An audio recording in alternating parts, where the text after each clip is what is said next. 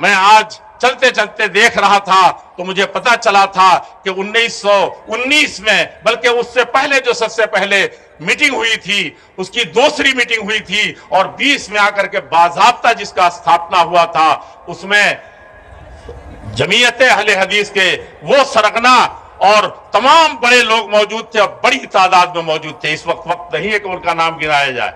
आज भी उसी कुत के साथ, उसी हिम्मत के साथ और उसी फरासत के साथ हम मुतहिद हैं और जमीयतुल उलमा अगर मुल्क के लिए, मिल्लत के लिए और इंसानियत के लिए खड़ी है और यकीनन खड़ी है तो हम उसके लिए पूरे तौर पर तैयार हैं। आज यूनिफॉर्म का मसला हो या जिस तरीके या जो भी जि, जितने मसाइल हैं मुल्क के अंदर खास तौर पर जो मौलाना अबुल कलाम आज़ाद ने यही जामे मस्जिद की सीढ़ियों पर खड़े होकर के कहा था कौम को ललकारा था और सबको पुकारा था कि अगर कुतुब मीनार के बुलंदियों पर एक फरिश्ता आसमान से आकर के ये आवाज़ लगाता है कि अभी अभी ये आज़ादी का झंडा तुम्हारे हाथों में फहराता हुआ मिल जाएगा। लेकिन इस बुनियाद पर के देश का बंटवारा हो जाए, इंसानियत का बंटवारा हो जाए, हिंदू मुस्लिम की तफरीक की बुनियाद पर ये आज़ादी तुमको नसीब मिलेगी तो ये मुझे हर किस गवारा नहीं होगा, बल्कि मैं उसको, मैं इंसानियत के बंटवारे को, हिंदू मुस्लिम बंटवारे को गवारा नहीं कर सकता।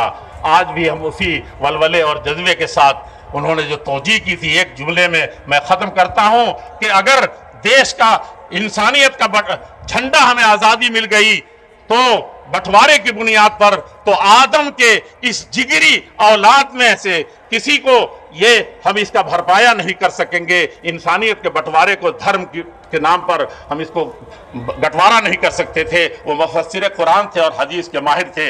वो जानते थे कि ये कितना बड़ा गुनाह है, कितना बड़ा पाप है और कितना ये खतरनाक मामला है।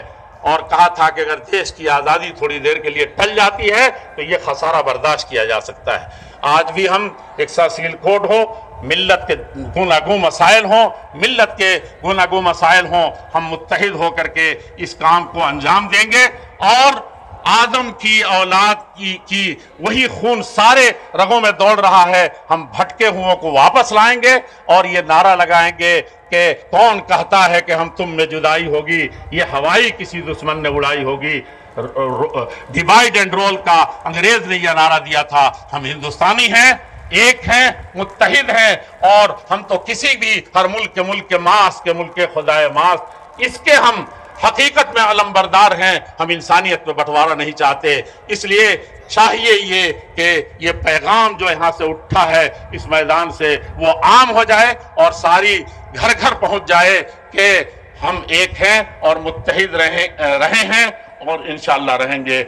इसी पर मैं आखिरी शुक्रिया अदा करते हुए और बहुत बहुत दिल की गहराइयों से बधाई देते हुए, हज़रत मौलाना महमूद मदनी साहब को मैं रुख्सत होता हूँ, दुआ करता हूँ कि हमारा ये इज्तम हर तरीके से कामयाब हो और मुल्क की तामीर तरक्की के लिए और इंसानियत की भलाई के लिए मिलत के फलाह बहबूद के लिए ये अल्लाह जल्ल शाह से कबूल फरमाएँ।